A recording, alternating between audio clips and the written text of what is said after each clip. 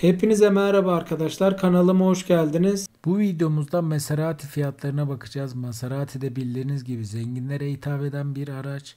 Burada 2022 model 11.000 kilometrede bir aracımız var. Fiyatı 6 milyon 700 bin lira. Otomatik vites hibrit yakıt tüketimine sahip bir araç. Arkadan bu şekilde, yandan bu şekilde, ön çapraz bu şekilde, arka çaprazda bu şekilde aracımız.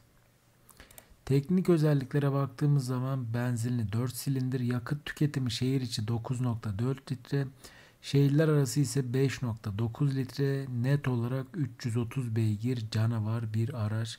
Maksimumuza baktığımız zaman 255 kilometre hıza sahip. 0-100 hızlanması ise 5.7 saniye.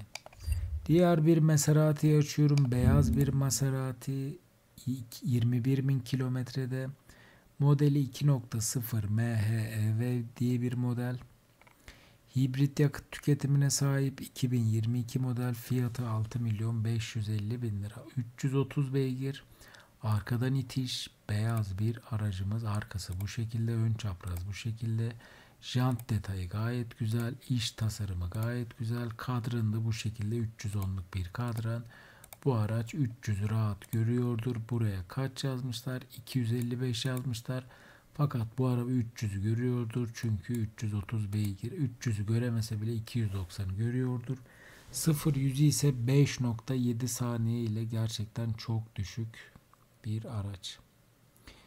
Yakıt tüketimini söyledik. Maksimum ağırlığı 1.9 ton diyebiliriz. Bagaj kapasitesi 500 litre ile gayet geniş bir bagaja sahip. Kafanıza takılan herhangi bir soru olursa yorumlar kısmına yazmayı unutmayın. İzlediğiniz için teşekkür ederim.